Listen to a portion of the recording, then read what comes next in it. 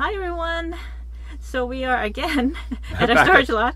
We haven't been out, but we did go to the Early Bird RV show and sale in Abbotsford, BC. Uh, just yesterday, actually. Yeah, I managed to go out on the first day of the show, first thing in the morning. But what we thought we'd do this time is in previous, if you've watched some of our previous videos, we've covered you know a large number of RVs that we've seen. Uh, and this time, this time we thought we'd just focus on really three that that we liked, mm-hmm. and um, of course being uh, Class B van owners. Uh, two of the RVs that we take a look at were Class B vans, and then the third was a small trailer that we've uh, liked in the past. So we hope you enjoy this video.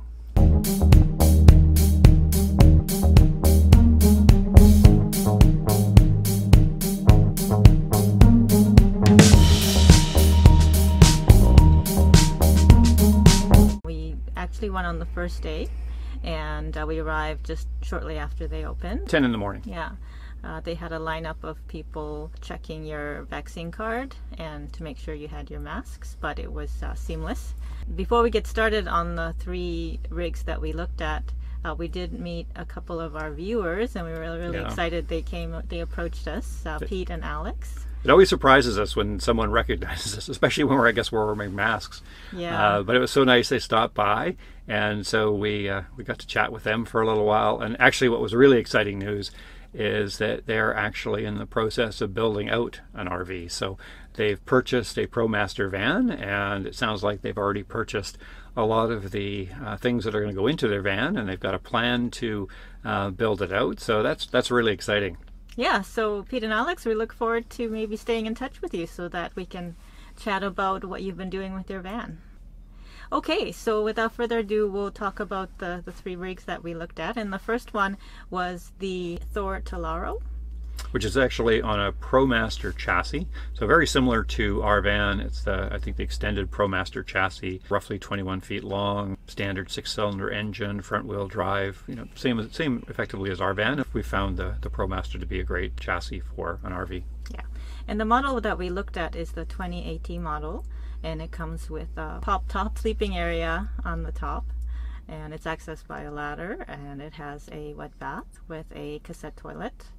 Yeah there's another model apparently uh, which we didn't see a black tank model uh, which is actually I think situated at the back so the floor plan's a little different but but I actually I quite like the floor plan it looked very usable there's a, I think what will fold into a king size bed yes. at the back yeah. has a small little eating area near the front behind the driver's seat. So I don't know if you could sit two people there, but uh, at least for one person to sit down and have a coffee in the morning, if it was inclement weather, that would be nice.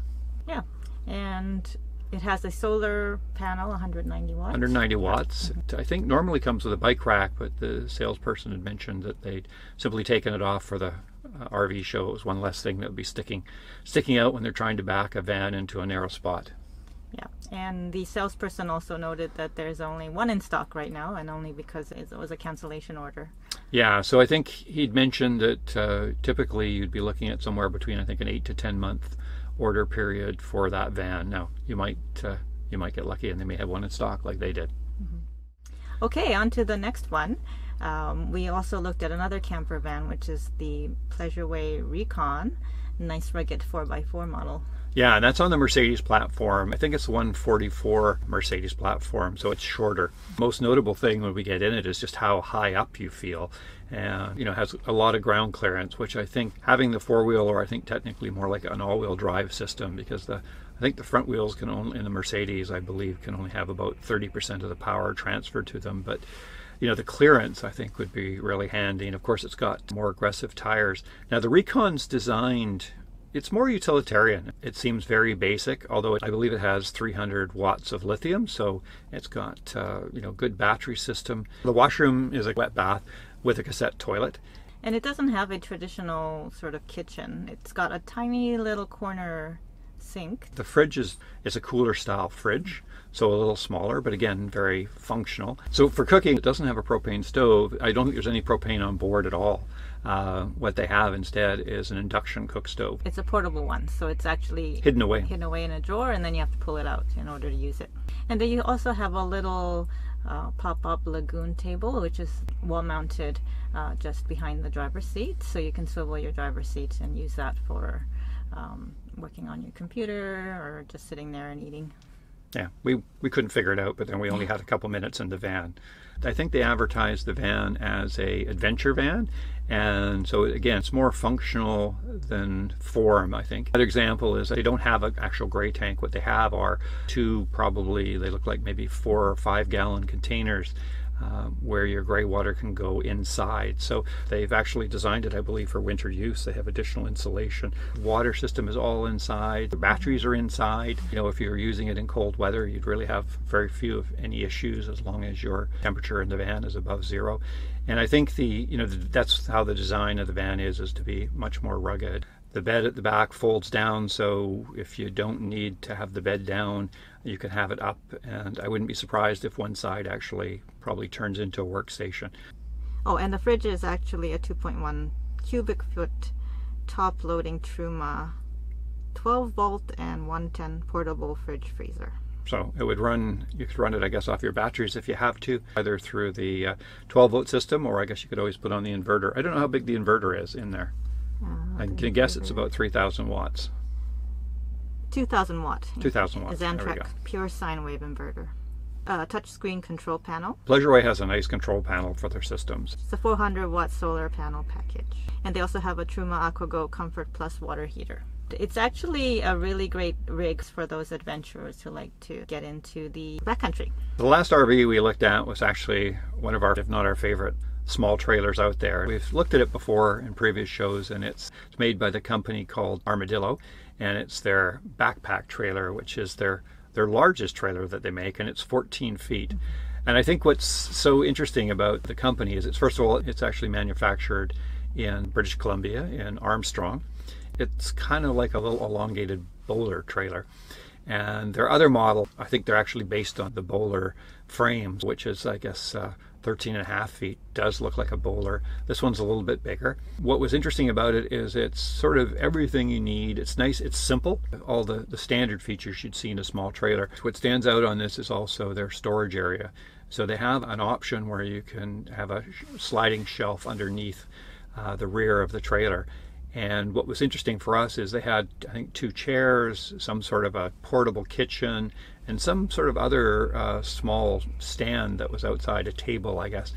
And all of that folds flat and goes in this panel that fits underneath the trailer. So, you know, it's just handy if you have anything wet or just some stuff that can take up a fair amount of room. You could put it under the storage in the back, which I think is, is really handy. One of the nice things about the Armadillo trailers is they're small and they're light. I think this Depending on the options you put on, they're approximately 1,800 pounds, so you could tow them you know, with a, a, wide variety of even smaller vehicles, which is, is handy, I think, mm-hmm. for, for many people. Uh, yeah, and inside the trailer, you have the front table for two. Which converts can, to a bed. Yeah, which converts to a bed. Is You've got a portable toilet underneath the in the cabinet there in the front. Yeah, porta, porta potty? Porta potty, yeah. You've got a cooktop uh, with a fridge underneath. So the cooktop's propane? Cooktop is propane. Sink faucet. And you've got a rear dinette that also turns into a 76 inch by 47 inch bed. And a fresh water tank inside. Uh, you've also got a shirt closet and a furnace. Yeah, I mean, it's a very small trailer. Obviously, if you're pulling the trailer, you can keep some of the things that you're taking uh, in your tow vehicle. Uh, it does have a large number of options. The pricing, the base model starts just a little under $32,000. Um, you can add a variety of options, air conditioning. Uh, I think you can add a lithium battery system, and the prices go up from there. I think they probably would price out somewhere around mid 40s, uh, fully loaded. You can check on their website. And those are the three that we actually took a really good look at, but it was fun just walking around and uh, checking out all the other rigs as well. So the other thing that we did there was spend some time, maybe too much time, at the Northern BC information booth. We uh, enjoyed chatting to the people that were there. Um, we remember, I remember we actually showed Alex and Pete uh, some of the spots on a map where we had been and made recommendations for them. It was a, yeah, it was just really nice to uh, revisit some of our trip um, and talking to some of their representatives. It was it was fun. Yeah, and they also showed us places that we could go if we get over to the Cassiar Highway. Yeah, they made a number of recommendations, so we look forward to being able to follow up on that. Yeah, so uh, in case you guys are wondering, Finch is doing really well. There was one little hiccup last week. We had a little bit of a health scare. Yeah, we had actually booked the Skyview campground and uh, the new campground, the full full service campground in Manning Park. Yeah, first time we were going to go. We were looking forward to going, and as we were en route, uh, we put Finch into a new case a carrier that we had. It's sort of a backpack carrier, um, but it didn't seem to work very well for him, and he, he was very uncomfortable. And uh, Yeah, we- it was kind of a like an anxiety attack almost. Um, he he started kind of panting and you know shaking a little bit, and, his heart rate was high. Yeah, and Yeah. luckily we hadn't left home for long, so we just turned around right away and went home. Called the vet. Um, after an hour or so, he was actually back to normal. Yeah, he was but, fine. It's just, it just, you know, he, he's traveled with us before in other carriers, and we've never had a problem. So I think this carrier was a little smaller because it is designed to be a backpack, and it just didn't work for him. it didn't so work. He's a big big cat. I think it was just a little too small for him. So we won't be using that one. No, we we're going to be actually using a, a new soft carrier, which is um, Even a little bit bigger Yeah, than our, our previous hard carrier. Yeah, and you know, after this experience, we actually looked into it and we learned that you have to really be careful that um, your cat has enough room to move around in a carrier. So, um, a lot of people actually recommend that you get a big a bigger size rather than a smaller size for, Fin- for your cat. Finch is doing well, and uh, he seemed to recover from all of that. So Yeah. uh, we're hoping we'll be getting out on a camping trip soon with him. Yeah, so we'll try again. If you enjoyed this video, please be sure to give us a thumbs up and subscribe to our channel if you haven't done so already. And we will see you next time. See you next time.